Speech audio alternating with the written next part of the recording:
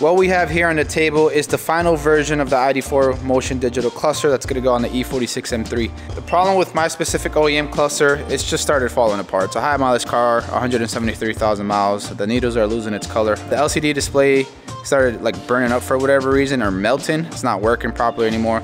BMW would charge you like over a thousand dollars for one of these brand new. So this would be a perfect time, at least for me, to upgrade to an all digital cluster that is fully customizable and it really helps you stand out from the rest of the E46 BMWs out there. Those of you guys that didn't watch the first two videos with the prototype, it is a two-piece system. So you have the cover here.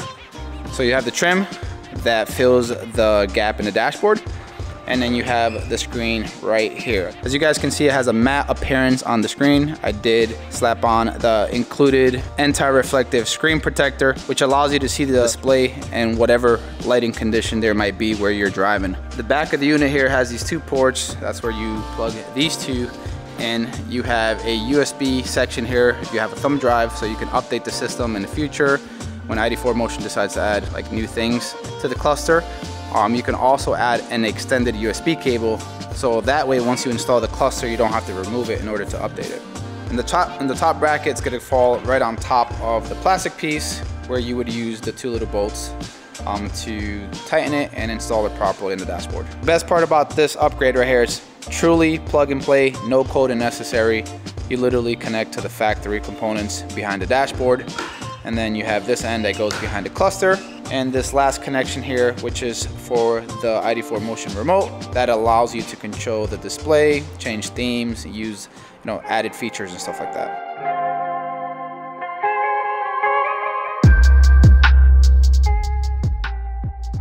But It is fairly easy. It's bolted onto the top here with uh, two T20 screws. Um, then you fold the cluster down, you pull it out just enough so you get behind it and remove these two connectors. Then you adjust the steering wheel to make room so you can pull it out, bring it down, and then you can just kind of uh, wedge it off the side here. All right, so we have the first connector that goes in just like this. And then once you press it in, it locks into place right there. And then the second connector is very similar. You just line it up and it should just kind of lock into place once you push it in there. There you go. That's pretty much all you have to do. The rest happens on the digital cluster side. Uh, what I have back here is a USB extension cable that I ran with the prototype behind the air tube and it comes down under the kick panel. So if, if I ever have to update the cluster, this is how I'm gonna go ahead and do it without having to remove the cluster once it's installed.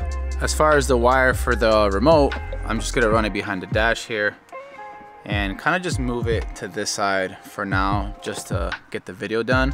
When I have more time off camera I'll probably route it somewhere underneath this area so it's a much cleaner look. All right so we have the the two plugs goes in the back here. Uh, we got the big one goes there too.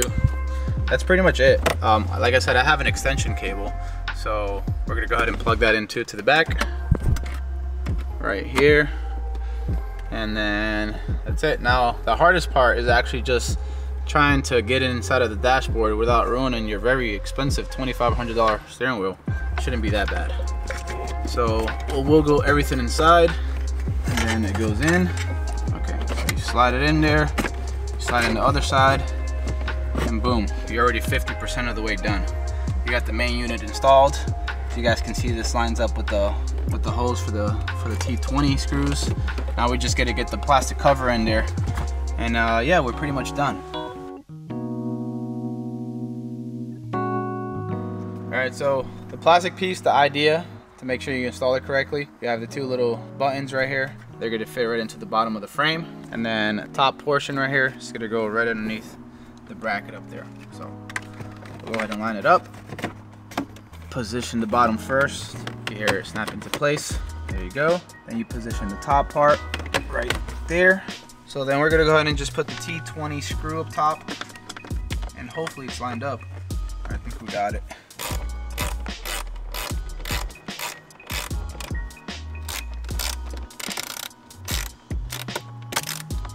What's really cool is that unlike the E90X clusters, you don't have to do any modification to the inside of the dash.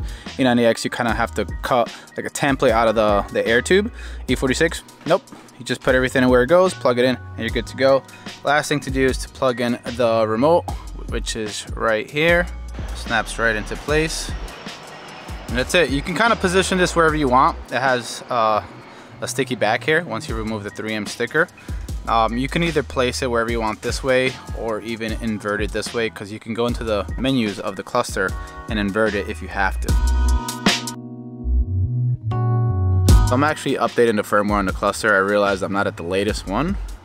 That's where this extended USB cable came in the clutch because I don't have to remove the dash to update it. Just gotta use this USB stick and then updates automatically after you start it. All right, let's go ahead and switch it on and I'm greeted by the custom Vehicle Virals logo and we have what looks like the stock theme that the cluster comes with. All right, so I changed quite a few things to match the prototype unit that I had, 180 miles per hour. So I did change it from kilometers to miles per hour, put the top speed at 180, RPM red line 8200, the yellow line flux switch based on the engine temperature, but you can do it manually if you want to. Uh, the time, uh, these gauges, you're able to customize them and change them as well. And then the last thing I haven't done, because I'll do it on camera since it's a very common question, is the mileage. It does carry over the mileage. As you guys can see, 176,000 miles. Sometimes you have to confirm the last three digits, which is in this menu right here. So I'll go ahead and set the odometer. You can increase it or decrease it, like in case it's off by a little bit. Normally, like I said, it's the last three digits. Uh, but mine is pretty accurate, so we're gonna leave it just like that. And then we'll confirm. I'm gonna go ahead and change the theme and the color of the cluster to match my setup on the E46M3. I won't go over all of them in this video because I already covered in the last two videos, but I will leave links to those videos down in the description below if you guys wanna check them out. You can also head to my website where I sell the cluster and you can see all the options there. There are three different themes though. You have matrix out, which is like analog style for you purist. Cool thing is you can change the color to match whatever setup you have going on in the interior of your car or exterior. Then there's Hypergrid, which is my personal favorite. It's very modern, a little bit of analog, a little bit of digital. There's an orange colored one that I love. These are all very, very dope though. Very, very cool. And very responsive when you drive, as you'll see later on. Yeah, you see this is the theme that I like the most. This one right here for sure. So I'm gonna go ahead and select that one. And then I'll quickly show you Orbit Drift, which is probably the most modern skin that we have. That one's very cool. So you have the tachometer in the middle with the speed as well, all the information you want to include in the cluster theme. You can do that on the sides, left and right side. Very, very cool. Alright, so here's what my current setup is. I have the fuel gauge on the left hand side, average speed, miles per gallon. You get all the regular BMW warnings at the bottom, which is very cool. Outside temperature here, distance till empty, and on the right hand side, oil temperature. All fully customizable through the menus, which is very cool. So whatever information you want displayed, that's the information you get. Added touches, open a door. This warning pops up, driver side door open. It's uh, individually sensored, so we got the passenger side door. Even if you turn on the headlamps, check out the animation. That's very cool. And my assumption is if you have a four-door E46, it'll show each individual door when they're open. Same with the trunk, which I tried it off camera, and the same with the hood. I went ahead and swapped in the G-force meter right here, which is a very cool thing that this cluster unlocks. When you're driving, you can actually see G-force readings. Let's say you take the E46 to the track, you can kind of look at that, which I'll show you guys a little bit later as well in action. Shift indicator lights is another thing you can enable in the menus. You can adjust it however you want as far as the colors, the blinking status and stuff like that. Maintenance related stuff is there too, air filter, battery, brake disc, brake fluid. You can turn off or turn on their alerts, set time, set dates, so that way you can monitor when to do the next maintenance you know, interval.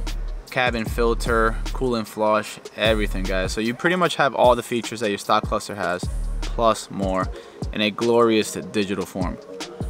I'm not going to cover everything in this video, but if you guys have any questions or concerns about the cluster before you guys make a purchase, you can always reach out to me directly at Vehicle Virals Instagram, or you can shoot us an email, support at vehiclevirals.com.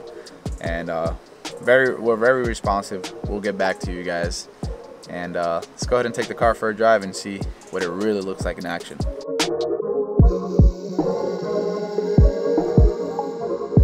So I think I'm going to switch themes from Orbit Drift to Hypergrid Orbit Drift still seems to have a little slight delay, like the prototype unit. I think it has to do something with the information being transferred from the car itself to the cluster because the E90X, E70, E60 clusters don't have that issue. Um, here, I'll show you guys. The rev is not bad. It's not terrible. It's actually once you start driving that you see a slight delay uh, when it comes to the speed. So there's like a very slight delay. It's not massive.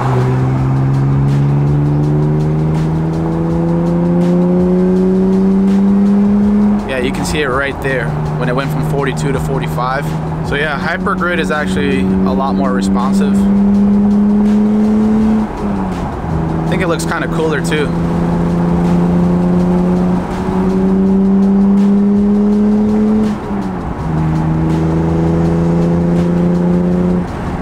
Quick no, I don't have an issue with my AC working, but there has been reported issues with some E46 drivers that after installing the digital cluster, the AC unit seems to bug out and it doesn't work properly. That's a fix that ID4 Motion is working on relentlessly every day to fix and they should have a solution for it very soon. So just because it is a new cluster, it's gonna have its bugs and updates are gonna come very frequently. Here's what a cluster looks like from the distance. Definitely gives the car a very nice modern look within the interior.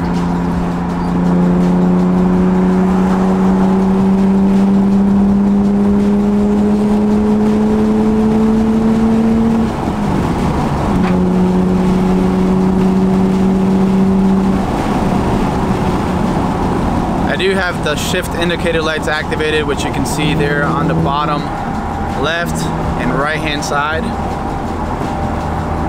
And if you look closely, you got the G-force meter in the middle. So let me turn the wheel and you can see it kind of move around. Yeah, so it's pretty much tracking it.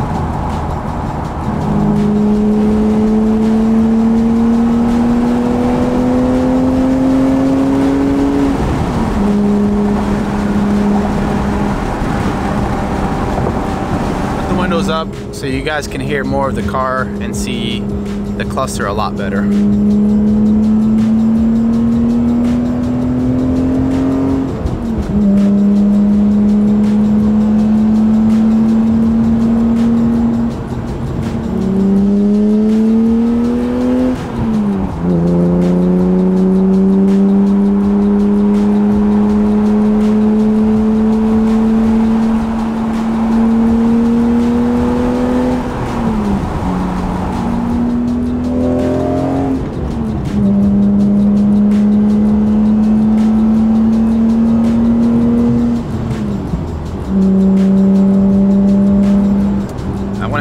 Changed it to the analog style, which is matrix out. So I can show you guys how that one functions.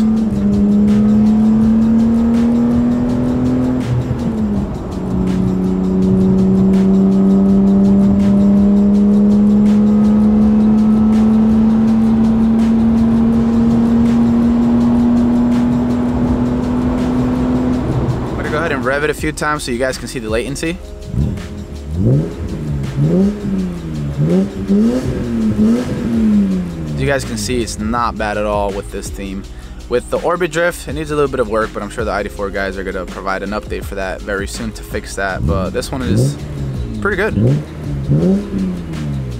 So that's pretty much it guys. If you guys have any questions about the E46 cluster or for any of the other BMW e-chassis cars like the E90, E60, E82, make sure and reach out directly. Before you guys leave the video, I really appreciate if you guys hit the like button. It really does help out the channel. And as always, thanks for watching. Until next time.